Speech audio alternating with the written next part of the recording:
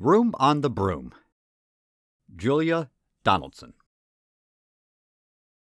The witch had a cat and a hat that was black, and long ginger hair in a braid down her back. How the cat purred, and how the witch grinned, and they sat on their broomstick and flew through the wind. But how the witch wailed, and how the cat spat, when the wind blew so wildly it blew off the hat. Down! cried the witch, and they flew down to the ground. They searched for the hat, but no hat could be found. Then out of the bushes, on thundering paws, there bounded a dog with the hat in his jaws. He dropped it politely, then eagerly said, as the witch pulled the hat firmly down on her head, I am a dog, as keen as can be. Is there room on your broom for a dog like me? Yes, cried the witch, and the dog clambered on.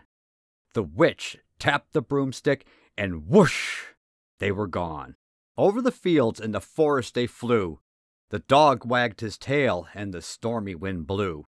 The witch laughed out loud and held on to her hat, but away blew the bow from her braid just like that. down. cried the witch, and they flew to the ground. They searched for the bow, but no bow could be found. Then out from a tree, with an ear splitting shriek, there flapped a green bird with the bow in her beak. She dropped it politely and bent her head low, then said, as the witch tied her braid in the bow, I am a bird, as green as can be. Is there room on the broom for a bird like me? Yes, cried the witch. So the bird fluttered on. The witch tapped the broomstick, and whoosh, they were gone. Over the reeds and the rivers they flew. The bird shrieked with glee, and the stormy wind blew. They shot through the sky to the back of beyond. The witch clutched her bow, but let go of her wand. down. cried the witch, and they flew to the ground. They searched for the wand, but no wand could be found. Then all of a sudden, from out of a pond, leaped a dripping wet frog with a dripping wet wand.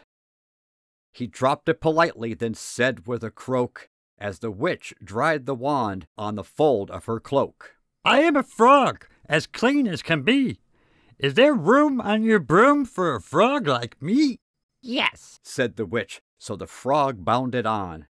The witch tapped the broomstick, and whoosh, they were gone. Over the moors and the mountains they flew. The frog jumped for joy, and the broom snapped in two.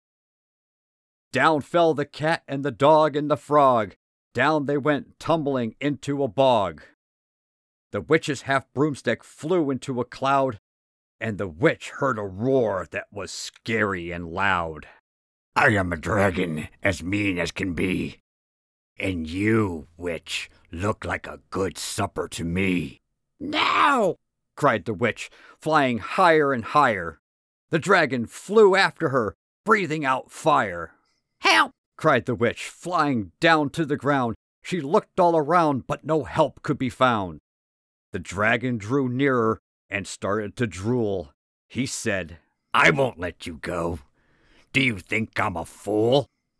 Just as he planned to begin on his feast, from out of a ditch rose a horrible beast.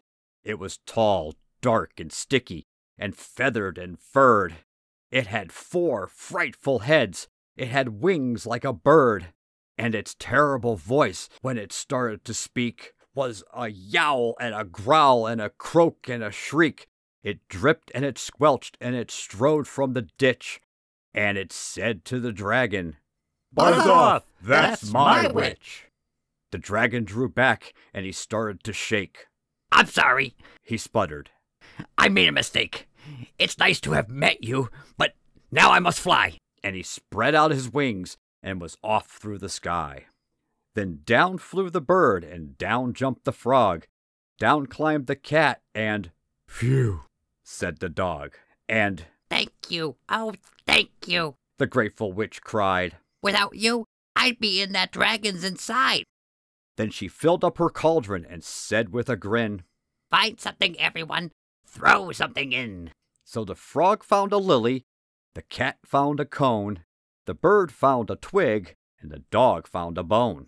They threw them all in, and the witch stirred them well, and while she was stirring, she muttered a spell. Iggity, ziggity, zaggity, zoom! Then out rose a truly magnificent broom, with seats for the witch and the cat and the dog, a nest for the bird, and a pool for the frog. Yes! cried the witch, and they all clambered on. The witch tapped the broomstick, and whoosh, they were gone.